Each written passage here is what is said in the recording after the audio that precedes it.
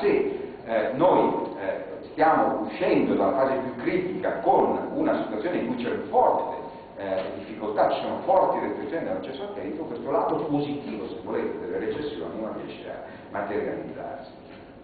Purtroppo non ci sono stati cambiamenti eh, nelle eh, eh regole eh, che eh, appunto dovrebbero controllare il funzionamento dei mercati finanziari, quindi molto è rimasto come prima.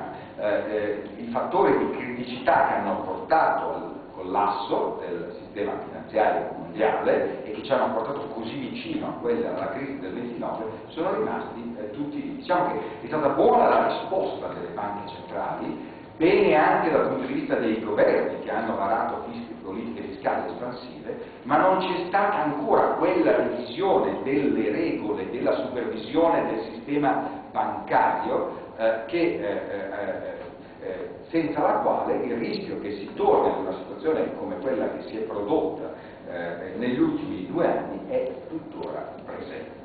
E quindi c'è eh, sicuramente il rischio di nuove crisi di fiducia e di eh, credito. Eh, sin qui l'unica cosa che è avvenuta è stato sostituire il debito delle banche con debito pubblico, ma anche qui chiaramente alla lunga il problema si porrà perché anche il debito pubblico rischia di diventare insostenibile. Ecco, vi dicevo prima eh, che la Cina ha un ruolo fondamentale nel portarci fuori dalla recessione, vedete questi sono dei grafici che ci fanno vedere l'andamento della Cina, questa era la dinamica di lungo periodo eh, che, che, prevaleva prima della crisi, la linea blu, eh, la linea rossa vi fa vedere l'andamento effettivo della produzione industriale in Cina, vedete che prima della, della crisi era sopra addirittura l'andamento, quindi stava ancora facendo meglio della dinamica di lungo periodo del trend, quando è iniziata la crisi siamo scesi sotto al trend chiaramente, ma comunque la produzione industriale in Cina non ha mai subito un forte collasso, addirittura è ripresa e sta ripartendo eh, in modo molto forte e sostenuto. Cina è stata la prima eh, nel mondo a dare dei segnali di ripresa, quindi l'incoraggiamento viene proprio. Ma parliamo del nostro paese, perché eh, non possiamo, non potevo non parlare anche dell'economia globale, perché questa è una crisi globale, ma eh, ci sono dei fattori specifici al nostro Paese che vanno eh, chiaramente eh, affrontati. Come dicevo, l'Italia è entrata in questa recessione, eh, eh, in questa situazione in cui noi venivamo da un periodo di stagnazione economica, eh, e quindi questo ci fa sentire la crisi in modo più pesante di altri paesi. Vedete, questo è l'andamento e la crescita del prodotto interno, del prodotto pro capite, diciamo, del reddito pro capite in Italia eh, dal 1951 al 2008. Eh, quando si parla del clima economico del nostro paese si parla facendo riferimento a grafici di questo tipo. Eh, ci sono chiaramente fluttuazioni nel corso del tempo perché le economie hanno fluttuazioni, ma se vedete la linea, eh, eh più, eh, la linea blu vi fa vedere l'andamento più nel lungo periodo e eh, dimostra un declino che sembra quasi inarrestabile. Insomma. Noi eravamo abituati a crescere a tassi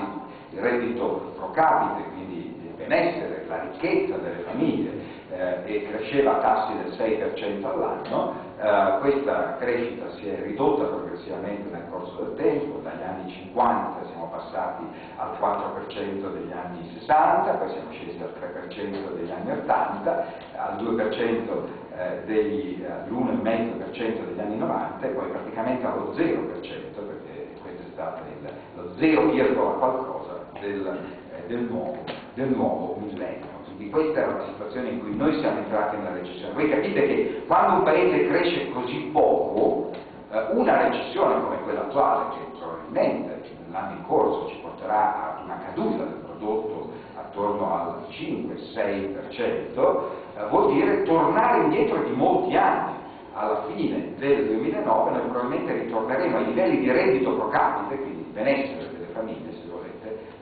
precedenti all'inizio del nuovo millennio. Ritorneremo più o meno a livello del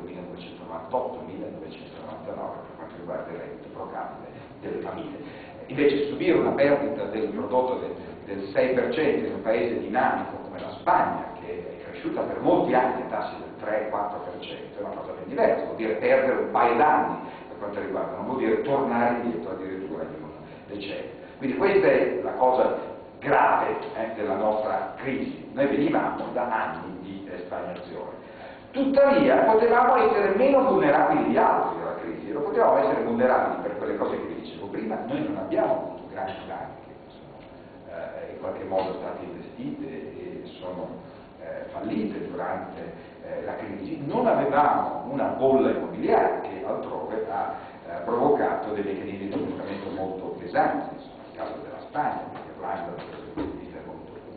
Poi c'è un altro fattore che è importante, noi avevamo un debito privato, eh, molto, avevamo un debito pubblico più alto di altri paesi, ma avevamo un debito privato più contenuto, quindi anche questo era un fattore che rendeva in qualche modo il nostro paese meno vulnerabile di altri ad una crisi dei mercati finanziari, perché chiaramente quando ci sono crisi di questo tipo eh, e eh, un paese ha un forte debito complessivo tra la parte pubblica e la parte privata, vedete, eh, la parte blu di questi grafici, questi istogrammi è il debito privato, quella rossa invece è il debito pubblico, se li mettiamo insieme eh, il debito complessivo del nostro paese per molti aspetti è inferiore a quello di altri paesi europei, perché è vero che abbiamo questo problema critico del debito pubblico, l'altro in questa crisi era meglio avere più debito pubblico e meno debito privato, quello che è successo in altri paesi che hanno trasformato il debito privato in debito pubblico, intervenendo per la ricapitalizzazione delle banche.